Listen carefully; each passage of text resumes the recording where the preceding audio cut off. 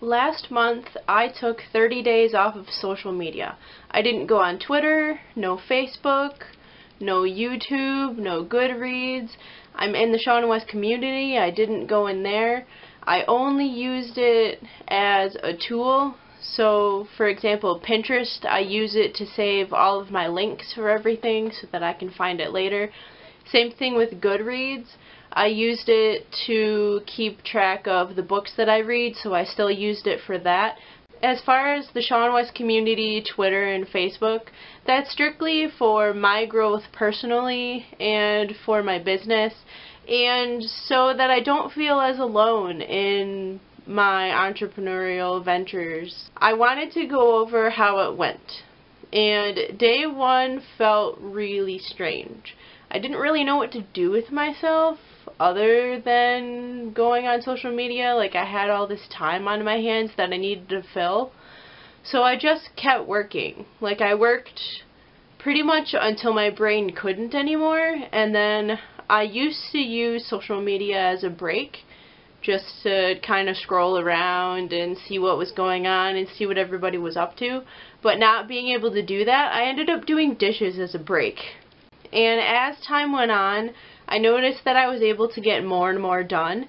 And I also noticed that I was researching a lot more to fill that time. So if I didn't want to get something done, then I would research like a tutorial or a problem that I was having. Or if something just came to mind, I would do research for it right then.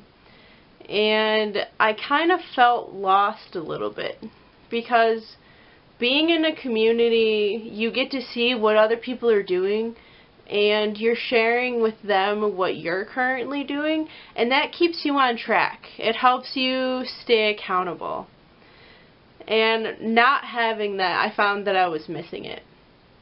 I came back to social media last week, but I wanted to give it a week to see how it was. One of the questions that they asked at the end of this experiment was, after these 30 days, do you think that your life would have been better with these tools back in your life? Now that I've been on Twitter and Facebook and back in the community for a week, I definitely notice that my business has improved, my life has improved, I'm smiling more, like I didn't realize how much of a downer I kind of got not being in a community. I feel more fired up to do things and it it really brought it into perspective how much I depend on seeing other people and what they're doing to keep me going as an entrepreneur and a geeky person going on this geeky venture.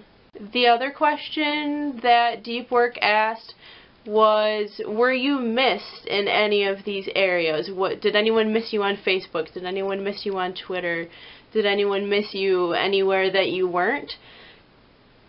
I wasn't at all. I was not missed whatsoever. Like nobody said, "Hey, it's been a while. Where have you been? You know, glad to see you back."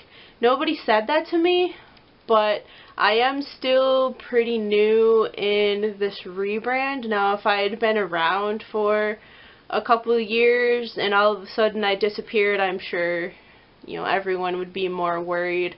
But I'm still new in the seanwes community and I'm still new being everywhere on social media compared to how I was a couple years ago so I'm not missed as much now as I was before. I'm sure it's going to be different for everybody. If you tried this experiment and you're not missed, that's okay. I mean, seriously, that's how the world is. Like, we forget things so fast. So fast. Like, we'll get all excited and obsessed over somebody like Casey Neistat or whoever is a popular vlogger on YouTube, if they went away, we'd be sad, but we just find somebody else. You know, it's the same thing when your favorite TV show is on and you're so excited and you're so sad when it's over. But then you find something else. Don't feel worried if you're not missed when you go and then you come back. It's okay. You're okay.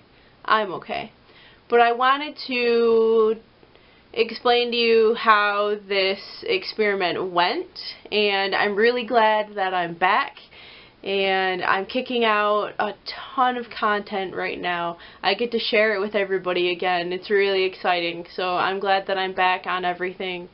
And I wanted to see if you've ever taken any time off of social media. Have you thought about it? What's kept you away from doing it? What are you afraid of?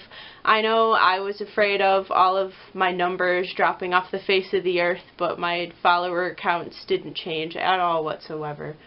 Share with me in the comment your experiences, your fears, what you think would happen, what you're afraid is going to happen. Let's have a conversation. Thank you so much for watching. I'll see you next time.